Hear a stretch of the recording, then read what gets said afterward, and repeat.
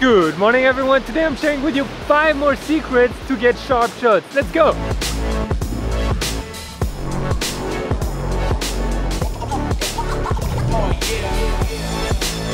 Alright guys, welcome to a new episode. Today I want to share with you my 5 other secrets to actually get sharp shots. Now you guys loved the previous video where I talked about autofocus to get the sharpest shot possible. Now I think a lot of you mentioned something which is shutter speed and I totally agree with you, we need to talk about it. Some of you might be already advanced, but I think number five is going to be very interesting. It's kind of a technique, a tip, hack, a function also. Don't miss it. So super simple, I'm gonna be sharing my five secrets that I use uh, for finding the right shutter speed and getting super sharp shots. You see the mountain behind me? My goal for number five, guys, is going to be at the top. So let's start with number one. All right, guys, number one, secret number one, and obviously, guys, all of those are not like pure secrets. Uh, um, I didn't invent them, but I love to learn with something exciting like calling stuff secrets. So number one is simply that your shutter speed should be, should be, should be, should be depending on your lens. It simply means that when you're shooting at the longer lens, a longer focal, for example 200 millimeter, whenever you have a little bit of movement on your camera at 200 millimeter, it's gonna look like you're on a freaking boat in the storm, I'm telling you. So you wanna have a faster shutter speed with longer lenses.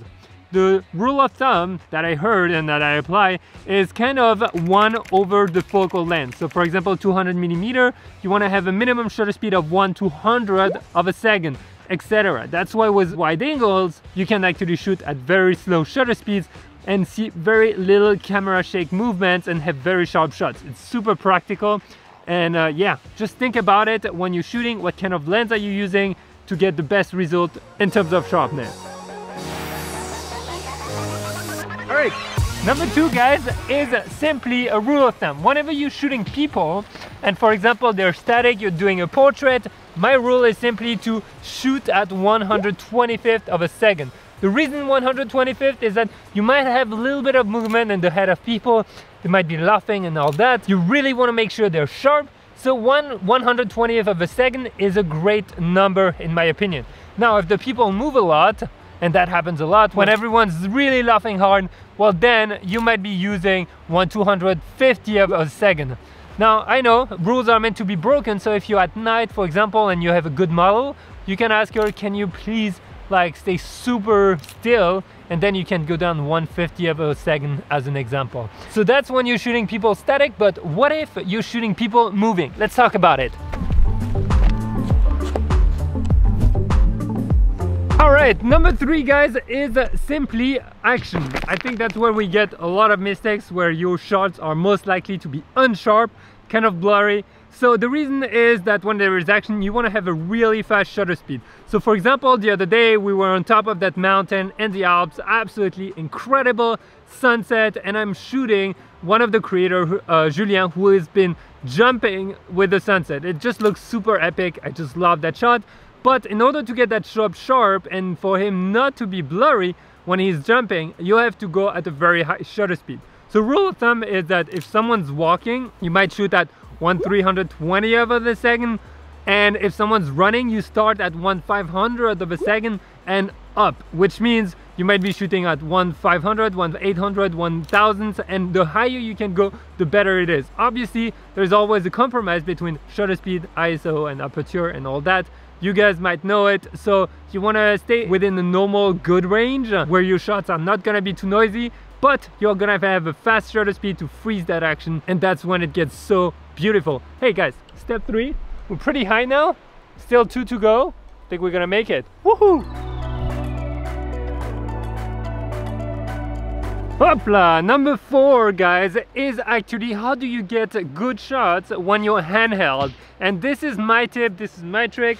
Whenever you're shooting handheld and you want to have really slow shutter speeds, but you don't have a tripod because a lot of people will be like use a tripod and all that. Guys i hate carrying tripod so you'll hardly ever see me with a tripod unless i'm doing super long exposure. That's when it gets practical but i just don't like having them with me. Uh, as you can see no tripod. The only thing is my little joby. That's all. All right. So if you want to be super sharp whenever you're taking photos uh sorry super sharp if you don't want to be shaking if you don't want to be blurry the trick is bring your shoulders super close to your body like that you have your camera then breathe in and don't move. And that's it. And you take the shot, you hold your breath, crack, and that's it.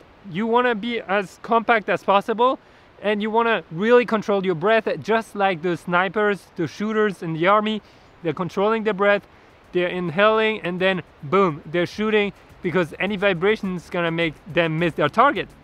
Same for a photo, any vibration is gonna make you have a blurry image. And you know, if you've watched some of the other tutorials, that I really love to shoot at very slow shutter speed, sometimes even handheld. Uh, obviously, if you have a camera that has in-body stabilization and a lens that has stabilization also, it helps a lot. I go down to uh, quarter of a second and even 0.4 seconds and I still shoot handheld. So that's how I get the waterfall shots that are very beautiful in my opinion, where you get the stream of water in one continuous line, or the shots where the crowd is actually uh, moving all around the subject, for example, Trina and the subways. That's how I get those shots, super close to me, hold my breath, boom, hit the shutter, and yeah, that's that's all. That's that's how I get it. And, and, and guys, I want to give you a little heads up. I have a photo in my head that I really want to shoot in Paris and I think I might be using that to shoot it, but that's gonna be for another episode. Let's uh, let's get to number five. Okay. Woohoo! All right, guys, number five is actually my favorite. Oh God, there's water. My favorite thing in the world. Most cameras have, maybe not all of them, but that's simply something I cannot live without I literally check before I buy a camera if it has that function or not.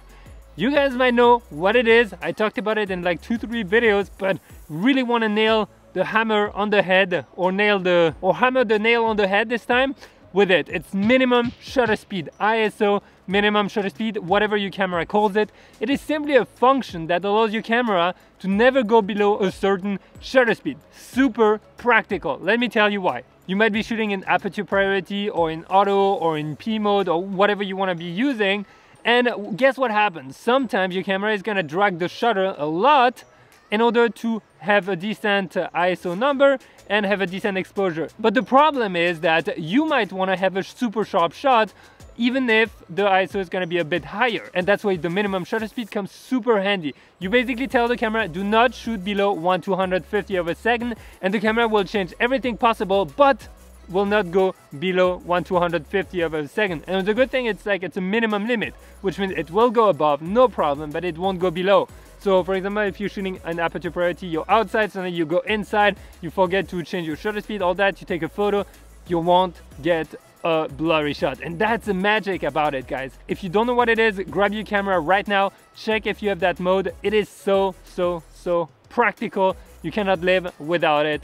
Let me tell you, it changed my life the day I discovered it because I, I love to shoot an aperture priority, for example, just super practical. Quick tip, when I'm outside daytime, 1 250 of or 1 500 if I'm trying to shoot action, and when I'm inside or when it gets darker, 1 120 of a second whenever I know that people are gonna be moving or there will be movement in my shots. Woohoo!